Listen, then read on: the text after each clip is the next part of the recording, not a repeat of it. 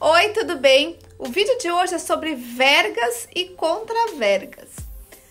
Então, para você que é novo aqui, se inscreve no canal. Para você que já é inscrito, já deixa o seu like e o seu comentário, porque esse assunto sempre gera muita dúvida quando estamos executando a nossa obra. Eu me chamo Jaqueline Siebert e sou arquiteta.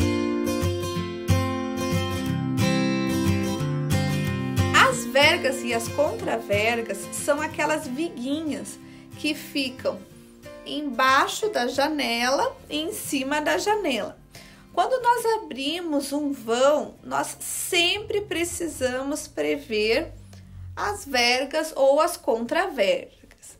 As vergas são quando você faz na parte embaixo da janela.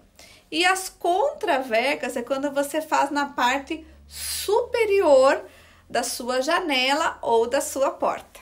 E elas são necessárias porque nessas quinazinhas que, que ficam quando você abre um vão, ali formam pontos de tensão.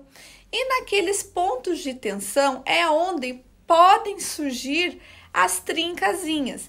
Então, e essas trincas, muitas vezes, elas é, deixam feio o seu imóvel e elas podem evoluir, né, dependendo da complexibilidade, para outros tipos, como um, alguma rachadura, e também pode é, entrar infiltração através delas, e elas também deixam a casa dos seus sonhos com aquela cara de obra mal executada. Então, as vergas e contravergas, elas então são feitas de concreto, elas têm que ser armadas, então elas têm que ter uma ferragem por dentro, tá? E assim, em geral, a norma pede que se passe 20 centímetros de cada lado do vão, mas já vi algumas equipes fazerem até o vão do pilar, até por uma facilidade de execução. Essas vergas e contrasvergas, elas podem ser feitas na obra, elas podem ser pré-moldadas ou elas podem ser canaletas concretadas de concreto. Então você vai ter aquela viga, aquele bloco canaleta, onde você vai colocar a ferragem por dentro e vai concretar.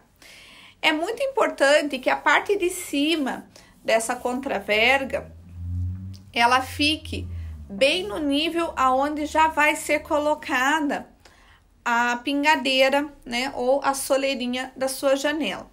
Por quê? Porque se você é, faz ela um pouco mais baixa, você vai, você vai ter que completar com massa.